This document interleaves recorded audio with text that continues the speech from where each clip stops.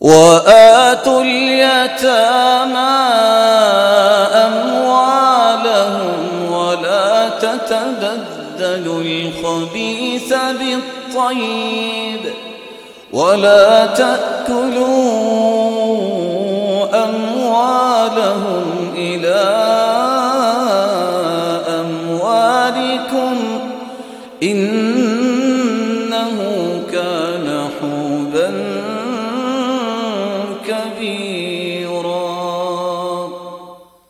مسلمانوں تمہیں حکم یہ ہے، یتیموں کا جو مال ہوتا ہے وہ نہ سمجھ ہوتے ہیں، یتیم، مسکین۔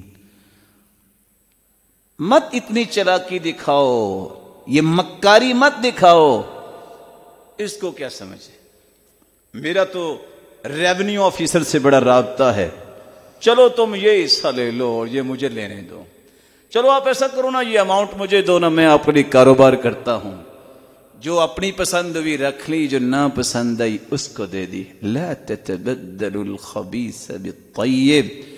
یہ مت کرو کہ اچھی اچھی چیزیں اپنے پاس رکھو اور ان کو کمزور سمجھتے ہوئے وہ چیزیں ان کو دو جو تمہیں رکھنا پسند نہیں ہے۔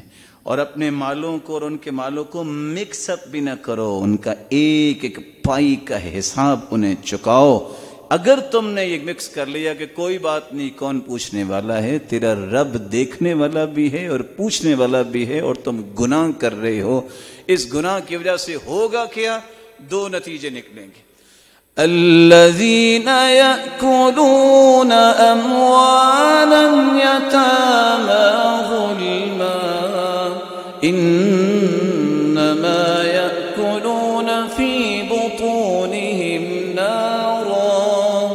وسيصلون سعيرا۔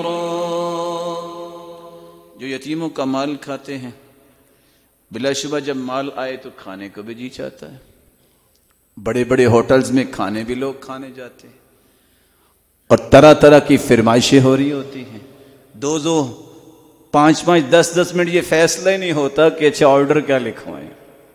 غریب آدمی کو یہ ہوتا ہے، کچھ چیز ہے، لاؤ فارغ ہو جائیں۔ یہ دس دس منٹ بیچارہ سوچتے رہتا ہے، یہ تو ابھی کل کھایا تھا، اب کوئی نئی ایٹم ہونی چاہیے۔ قرآن یہ کہتا ہے، آج تم، یہ تم۔ چھوٹے چھوٹے ٹکڑے بنا کے کیا کچھ کھاتے ہو؟ ایک وقت آنے والا ہے۔ یہ بھی تم پیٹ میں آگ کے انگارے ڈال رہے ہو، جس کو تم آج نگٹس بھی کہہ دیتے ہو کہ بون لیس فش ہے، اگر حرام کے تو یہ اصل میں آگ کے انگارے ہیں۔ اور انتظار کرو۔ اگر توبہ نہ کی تو ایک دن تم خود بھی آگ کا انگارہ بننے والے ہو۔